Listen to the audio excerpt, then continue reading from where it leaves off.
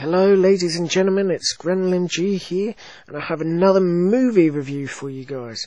So, let's talk about The Hobbit, The Battle of the Five Armies. Was it good? Was it shit? Was it damn right awful? My verdict of it was it wasn't brilliant. So let me just first off start off. The Hobbits, they're not Lord of the Rings. Lord of the Rings kicks the living fuck out of The Hobbit. So I guess the only way to describe and get people to really see what I'm trying to say is if if you grew up with Lord of the Rings, then you'll love Lord of the Rings. Lord of the Rings is your is your shit, it's your baby. But if you grew up with The Hobbit, then you'll love The Hobbit. The Hobbit is like your wank bank. It is you'll love it, you'll love it. But for me, I thought the Hobbit of the Battle of the Five Armies. It was it was good, but would I go watch it again? No.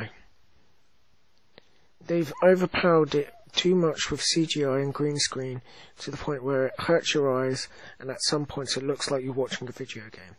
I mean, I was with my girlfriend and she fell asleep in the film, and she wanted to go see it.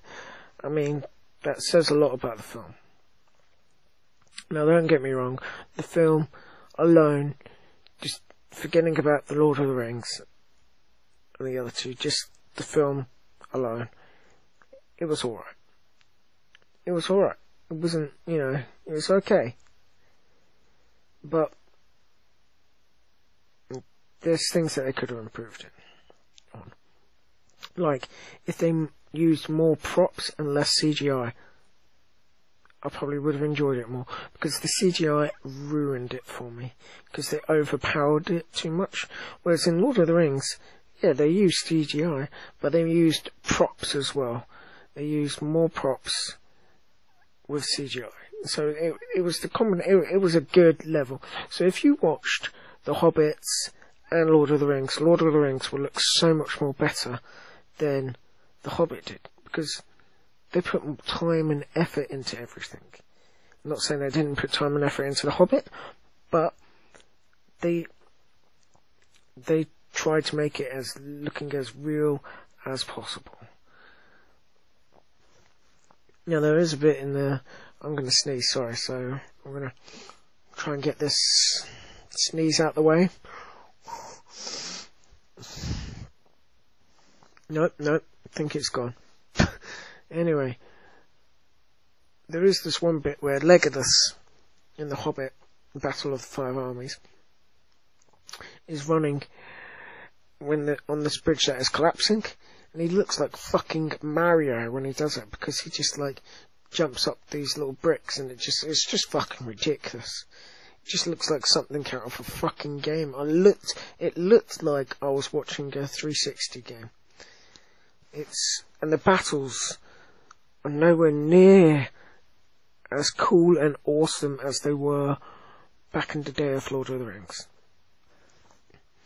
I mean, the film, it's got some funny moments in it. It's, it's a pretty good film.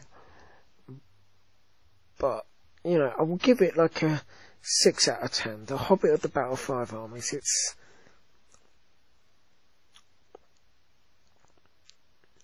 it's like it just jumps around too much. It's too cluttered with special effects that makes it almost unbearable to watch. Um, yeah, I just it was. I liked it, but I would never watch it again. I might do, but I probably won't. They ruined it. They could have done the whole trilogy so much more better, but they ruined it. By overpowering it all with too much special effects. And As the Hobbits went on, it just got worse and worse and worse. It just seemed like there's more and more and more and more and more green screens. It's like they're like, you know what? Fuck it, fuck the props. Let's go green screen all the way. No. No.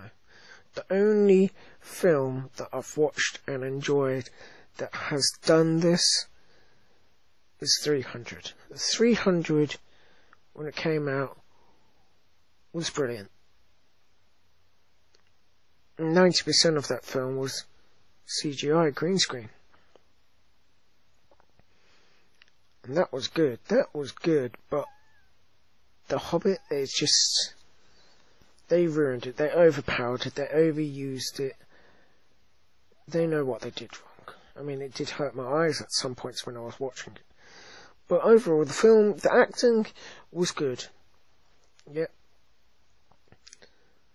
It was all good. Everything was good. The film, it's good.